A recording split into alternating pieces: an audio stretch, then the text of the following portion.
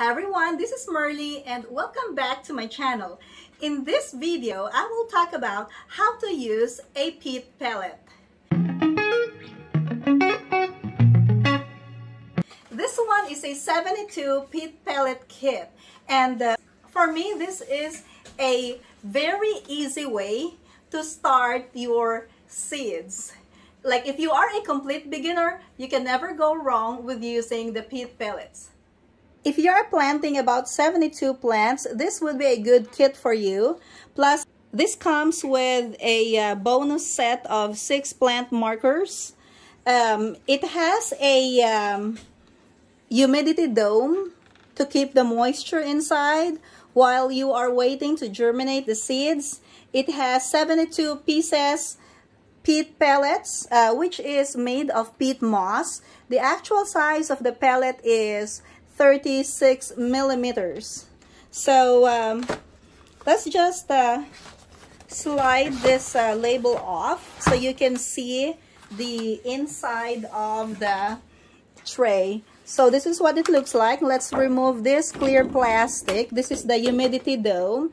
And then you're gonna put this on top after you plant your seeds. So let's remove that for now. And then let's remove these plant markers as well. I'm not gonna need these markers until I uh, transfer my seedlings to a bigger pot. Okay, so with this one, um, there are 12 pellets in a row, and then there are six rows. I already have a plan on what to put in this tray. Um, instead of 72, I'm just going to be using 70 peat pellets. So I'm going to remove these two down here. And I'm going to uh, transfer these two pellets to a tray together with my other refill pellets. Okay, so now I have 70. And why do I need just 70? Um, it's because I'm going to be planting 10 plants each of San Marzano tomatoes, tomato, Roma, red cherry, purple bumblebee, and moneymaker tomatoes. So they will go right here and then 10 pieces of the crimson sprinter. Um, also, I usually remove one pellet. Um, in this case, I'll just remove two. Um, so this is where I'm gonna pour the water whenever I uh, water my seedlings. So that's gonna make it easier to pour the water inside the tray without pouring it on top of the pellet or on top of the seedling itself.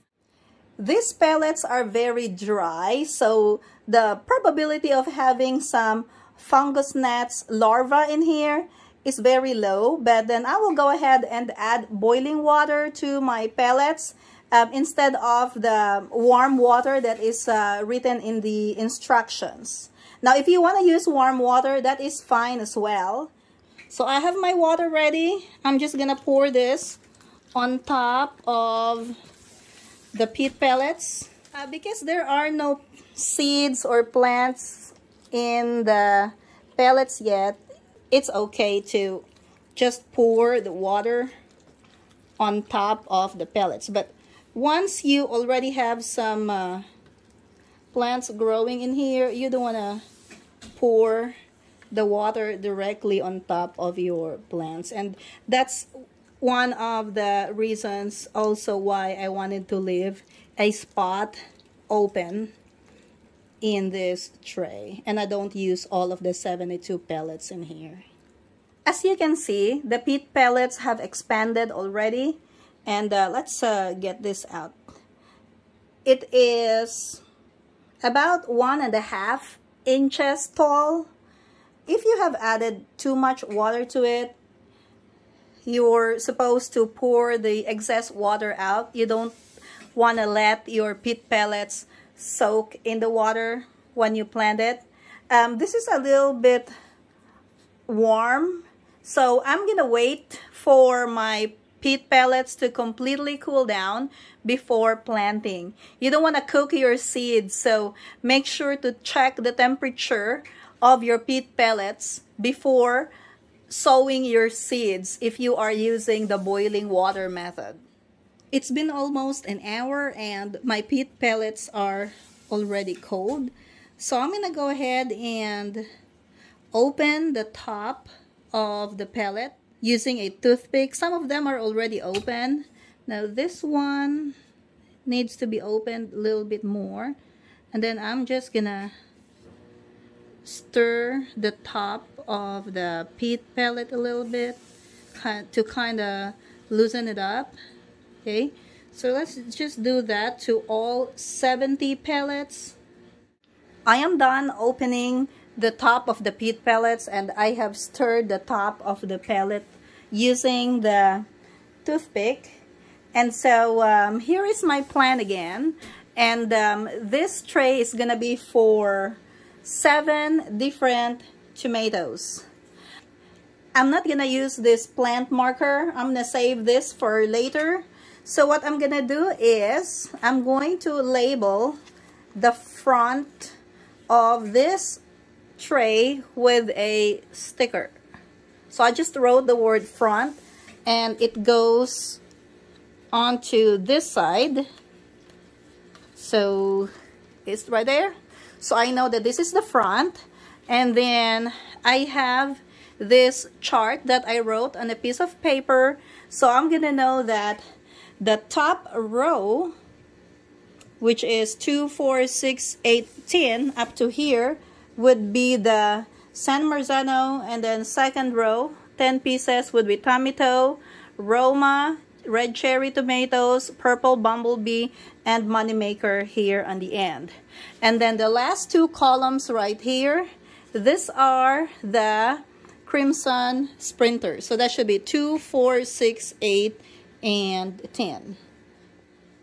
I have also written down how many seeds I'm going to put in each pellet. So for example, the tomato is two seeds per cell. So that's going to be 10 pieces of peat pellets times 2. So I'm going to need 20 seeds. Roma is the same. I have a lot of red cherry tomatoes. So I'm going to put 3 in each.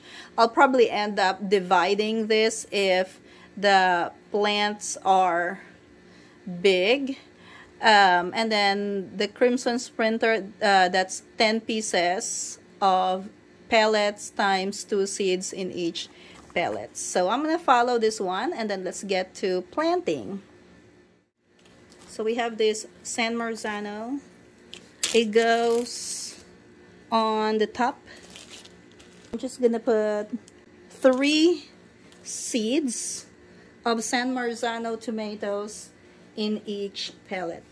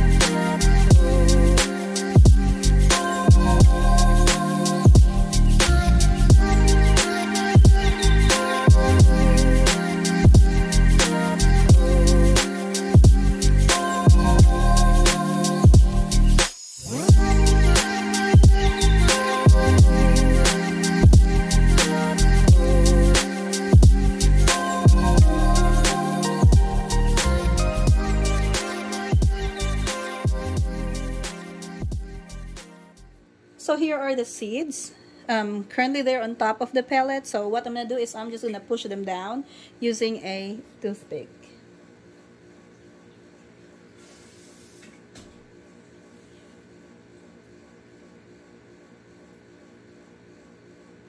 We will just make sure that they are covered in the growing medium.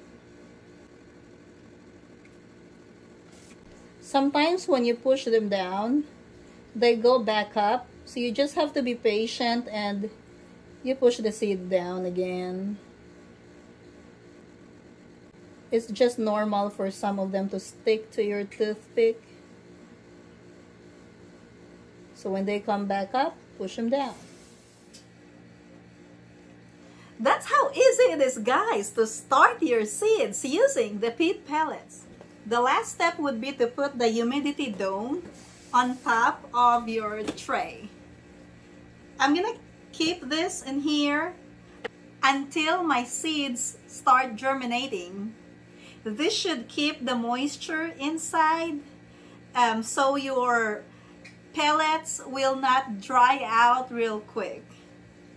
I will check this one um, every day to see when the seeds have germinated already.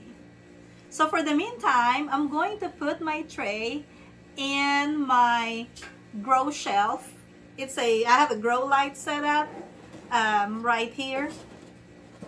So they're gonna stay in there. And this is the front, so I'll have to carry it like this. All right, let's go. This is my grow light shelf. I have some sweet potatoes and ginger growing. Um, and then this is the tray that has the tomatoes, 70 tomatoes. Um, I did not turn the lights on yet because I don't need the lights until my seeds germinate. You don't need the light to germinate the seeds, but as soon as those seeds start sprouting, you're gonna need the light. I'm gonna have to adjust this. Uh, has to be about two inches away from the seedlings. If you learned something from this video, click that like button and subscribe if you haven't already. Thank you for watching and see you next time.